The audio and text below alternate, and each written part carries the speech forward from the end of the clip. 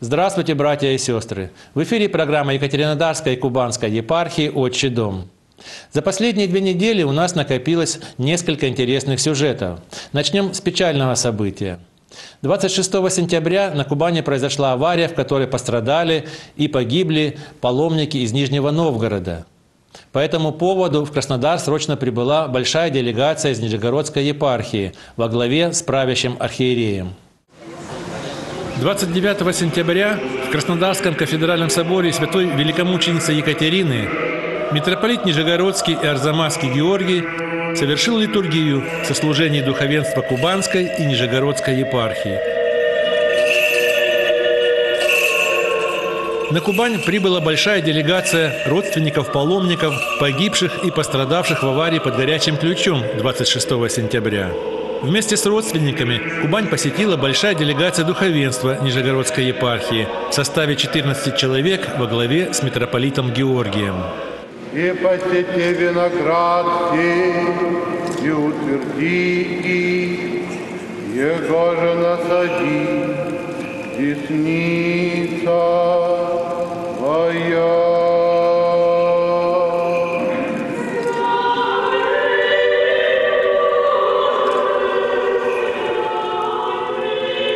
За богослужением молился и глава Кубанской митрополии Владыка Исидор. По завершении литургии митрополит Екатеринодарский Кубанский Исидор и митрополит Нижегородский и Арзамасский Георгий с сонмом духовенства совершили заупокойное богослужение по погибшим в ДТП 26 сентября.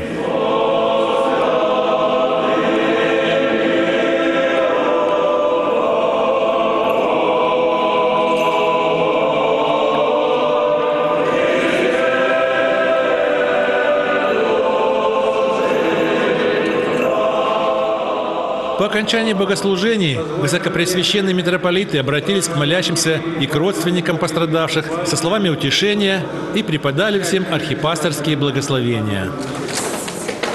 В этот же день владыка Георгий посетил Краснодарскую краевую больницу номер один. Здесь проходит лечение пострадавшей в аварии нижегородцы. Мир вам,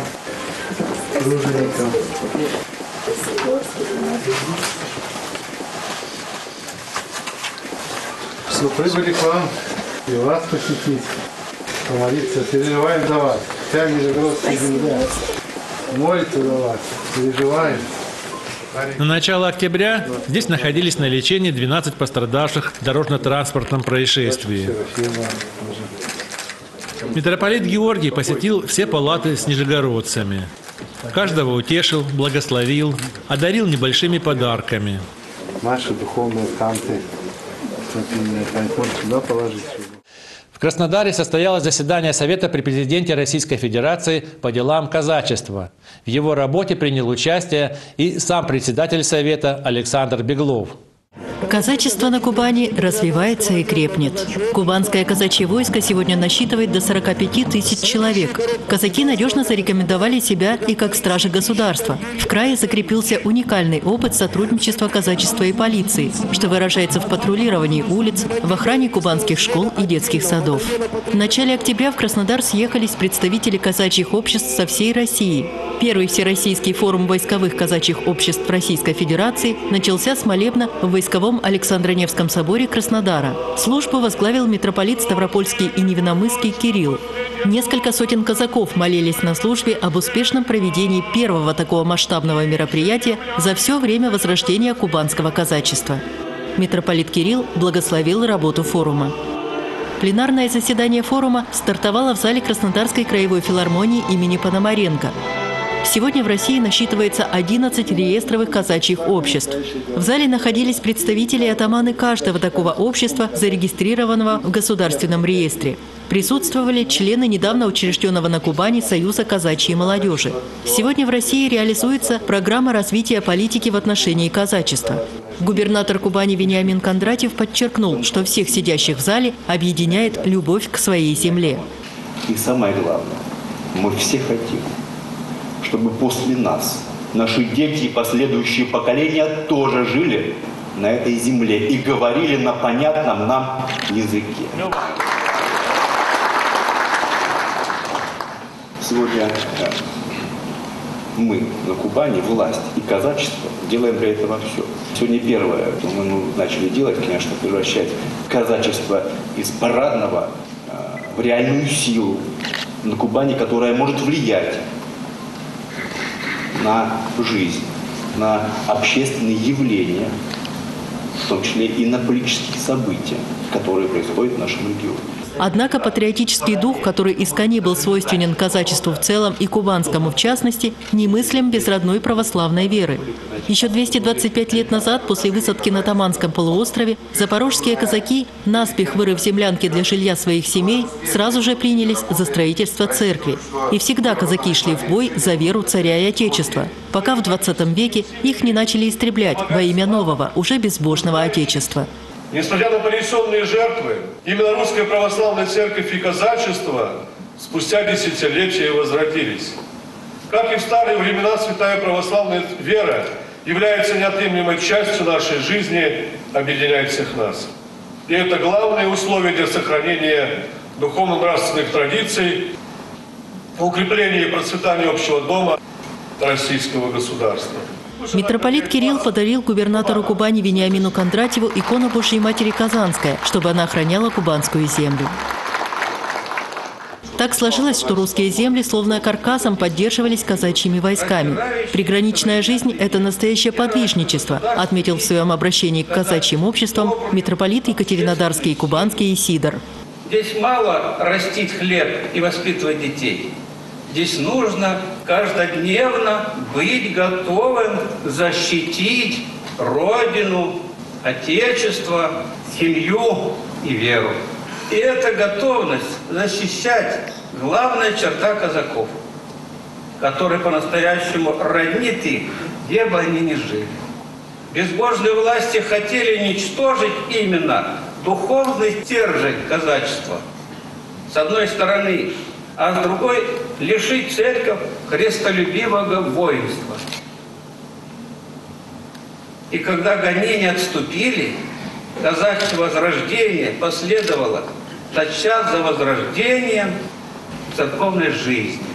Владыка также подчеркнул, что там, где казачество с первых шагов стало возрождаться под церковным амофором, там на сегодняшний день выросло мощное казачье войско.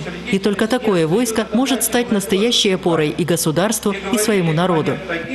В рамках первого Всероссийского казачьего форума проходило много мероприятий. В штабе Кубанского казачьего войска состоялся совет атаманов войсковых казачьих обществ. Также проходили круглые столы по вопросам патриотического воспитания казачьей молодежи, развития казачьей культуры, культуры, взаимодействия казачьих обществ с Русской Православной Церковью. Участники форума посетили Краснодарский музей Фелицина, где размещена выставка «Регалии и реликвии кубанского казачьего войска». Гиды музея провели экскурсию для гостей города. В качестве культурной программы было организовано выступление с символическим названием «Час славы Кубани». Памятника основательницы Екатеринодара, императрицы Екатерины II, под звуки старинных казачьих и военных маршей в течение получаса наблюдали гости развод и джигитовку почетного караула. В предгорьях Северского района состоялся очередной пятый молодежный форум «Моя вера православная». Надо сказать, что он является крупнейшим молодежным православным форумом на юге России. База отдыха «Дубрава» в живописном уголке Убинского района Краснодарского края традиционно принимала в сентябрьские дни молодежную смену православного молодежного форума «Моя вера православная». В этом году форум отметил самый первый юбилей. Он проводится пятый раз. Программа форума, как обычно, включала в себя образовательные площадки, встречи с духовенством и со многими интересными людьми – блогерами, журналистами, преподавателями, историками. А вот состав аудитории в пятом молодежном форуме несколько изменился.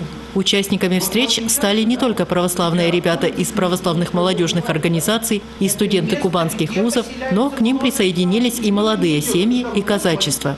Всего 80 человек собрала в этом году площадка православного форума. Основным направлением совместной работы пятого форума является молодежные православные клубы по месту жительства. То есть мы пытаемся на каждом районе, в каждом благочине города Краснодара а, организовать молодежную православную организацию. Близкое к светским молодежным организациям, близким к тем местам, где молодежь проводит свое время. Вот. То есть в каждом практически внутригородском округе будет православная молодежная организация. Форум «Моя вера православная» проводится по благословению митрополита Екатеринодарского и Кубанского Исидора, молодежным отделом Екатеринодарской епархии и управлением по делам молодежи администрации Краснодара. Программа форума была разбита на три дня. Все интересные встречи, беседы и лекции проходили в здании местного лектория. Помимо духовных вопросов, много внимания на нынешнем форуме было уделено проблемам семьи. Эта тема поднималась и священнослужителями, и, как оказалось, не оставила слушателей равнодушными. Поднимаются очень важные вопросы, касающиеся семьи, э, а семья – это основа для государства. И в современных реалиях, да, когда вот у нас идет такой вот э, мощнейший натиск разрушения института семьи, э, вот эти беседы, э, просветление – это очень важно для молодежи, вот, молодого поколения, которое вот отрывается от этого всего. Некоторые ребята приезжают в Дубраву на православную смену уже не первый раз, а значит смена им интересна. В следующем году организаторы намерены пересмотреть формы его проведения, чтобы он был насыщеннее встречами, мероприятиями и чтобы молодым людям можно было вынести больше доброго и полезного. И еще несколько сюжетов вы увидите в нашем традиционном видеообзоре. А я с вами прощаюсь. До свидания, до новых встреч. Храм преподобного Сергия Радонежского находится при управлении Министерства внутренних дел Краснодара. В день памяти представления преподобного Сергия в престольный праздник божественную литургию здесь возглавил митрополит Екатеринодарский и Кубанский Исидор. Высокопреосвященству сослужило духовенство городских приходов. Уже семь лет настоятелем храма является протеерей Богдан Черных. За время его настоятельства были совершены строительные и отделочные работы, и храм приобрел сегодняшний благолепный вид. За архитектурную основу Сергиевской церкви был взят проект храма великомученика Дмитрия Солунского во Владимире, который является шедевром архитектуры XII века. Службы в приходе совершаются 6 лет. С 2011 года в Нижнем пределе в честь иконы Божьей Матери Порт-Артурская, и вот уже два года действует Верхний Сергиевский предел. Несмотря на совсем молодой для храма возраст, приход достаточно известен. Вот и в этот праздник храм был полон верующих, почитающих преподобного Сергия. И в самом деле, сколько бы веков не разделяло нас с этим удивительным подвижником, он все так же близок к нам, и в этом легко может убедиться каждый, кто обратится к нему с молитвой. Это образец христианской и монашеской жизни. Ради Христа, ради спасения, ради молитвы он удалился в дебри русских лесов, совсем не помышляя о создании монастыря и тем более лавры, которая явилась уже как итог святой подвижнической жизни преподобного.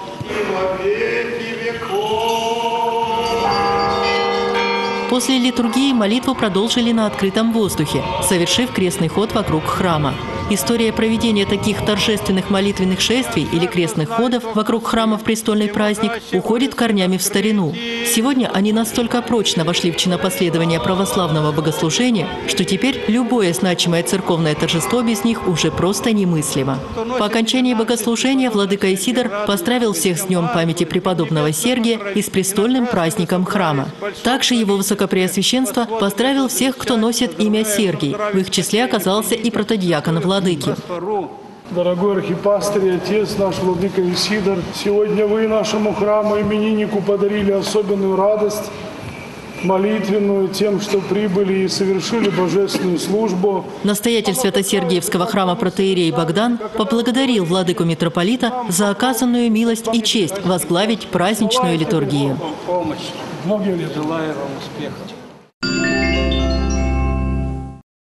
Осенним вечером в зале церковных собраний Краснодарского войскового собора Александра Невского состоялась встреча молодежи и вообще верующих горожан с известным московским священником и проповедником протеереем Артемием Владимировым. Встреча организована отделом по работе с молодежью Екатеринодарской и Кубанской епархии. Протеерей Дмитрий Руднев, руководитель отдела, выступил с инициативой этой воскресной встречи. Отец Артемий Владимиров не только православный священнослужитель и проповедник, он еще и писатель и педагог педагог, духовник Алексеевского Ставропигиального женского монастыря. Его велеречивый и витиеватый стиль беседы сразу увлек аудиторию. Разговор в форме белого стиха, естественно, пошел о вере, о любви, о духовной жизни, но большей частью о педагогике, о том, как это было в дореволюционной России, о духовной составляющей сегодняшней педагогики и о многом другом.